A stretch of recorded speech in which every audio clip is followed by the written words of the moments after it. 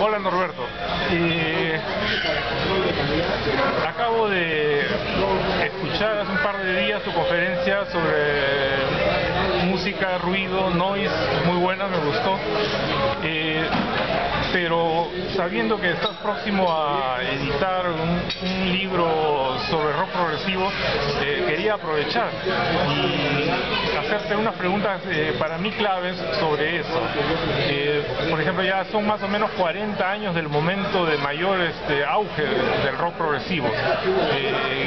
¿Cuál te parecería a ti que es este, lo, que el rock progresivo aportó a la música contemporánea? Si, es que crees que hubo algo que, que lo hizo.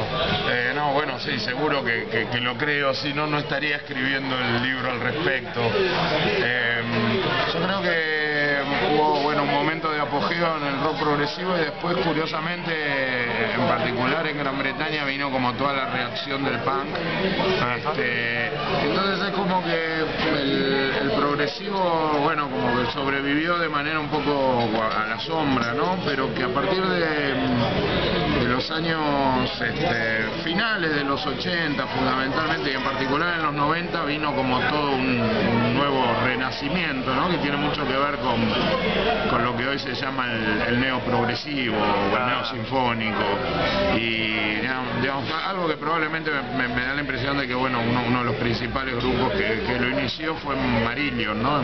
por lo menos en Gran Bretaña este, pero yo creo que mm, en primer lugar que, aportó el rock progresivo fue bueno como una manera de considerar seriamente o sea, como algo que hasta cierto punto derivaba ya del proceso que había hecho la música psicodélica que fue la, idea de este eh, de que bueno de que dentro del mundo del rock también se podía considerar la música de modo serio y, y esa fue como una, algo como algo como darle respetabilidad a la música rock. Sí en algún momento digamos, ciertas bandas del progresivo estaban, eh, para mí, exageradamente convencidas de que, bueno, de que el rock tenía que ser una especie de nuevo arte, ¿no? Y entonces había como una, una, creencia muy fuerte, digamos, en la respetabilidad burguesa del rock, ¿no? La idea de que, bueno, de que se podía hacer algo con el rock como para elevarlo a, otro tipo de, manifestaciones propias de, la cultura alta. Me parece que en particular la, la apropiación de mucho de lo que había sido la, música clásica de, distintos siglos, este, tuvo que ver con eso, pero era un proceso que empezó a partir del 67.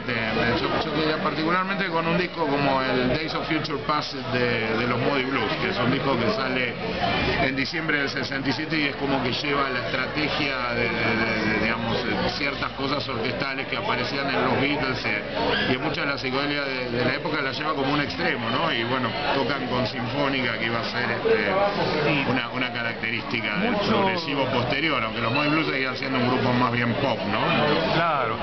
Por ahí he leído en alguna ocasión que eh, debe dejarse bien clara la diferencia entre rock progresivo y rock sinfónico.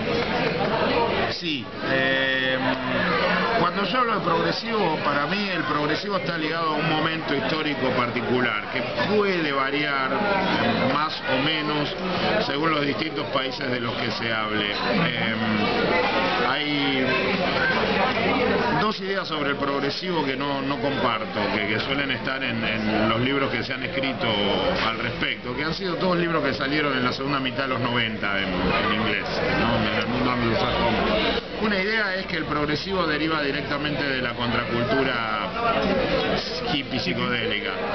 Eh, no comparto esa idea porque creo que la, cultura, digamos, la, contracultura o el underground psicodélico en, Gran Bretaña se produjo en un clima de, fuerte optimismo, está de hecho muy vinculado al verano del amor cuando salieron discos como el Sgt. Pepper y el primer disco de Pink Floyd, mientras que la progresiva, en cambio, la progresiva británica empieza empieza a, establecerse, digamos, uno, podría fechar como los inicios, por ejemplo, en, el primer disco de King Crimson, que es un disco de octubre del 69, y empieza a, gestarse en directa relación con el momento en que Inglaterra empieza, Gran Bretaña en empieza a tener serias dificultades económicas, y de hecho va a ser como la banda de sonido que acompañe la primera mitad de la década del 70, que es un periodo de muy muy complicado en términos políticos, con huelgas, este, el problema en Irlanda, este, cortes de energía, etcétera, etcétera, va a ser este, muy distinto al optimismo psicodélico, ¿no? Y me parece que bueno, que el rock progresivo de alguna manera forma parte de ese tiempo, por eso no es simplemente un, un desplazamiento sin más de la contracultura. La otra idea que no comparto es que el rock progresivo es un género exclusivamente británico, o sea, ha habido progresiva en todas partes del mundo, es una idea que no, no resiste el menor análisis. Lo que sí es verdad es que en el caso de Gran Bretaña ha tenido estas peculiaridades específicas que tienen que ver con las dificultades en las que estaba Gran Bretaña en la primera mitad de los 70. Digamos que mi aproximación es más social al, al fenómeno y no meramente musical. No lo definiría en términos estrictamente formales o estilísticos.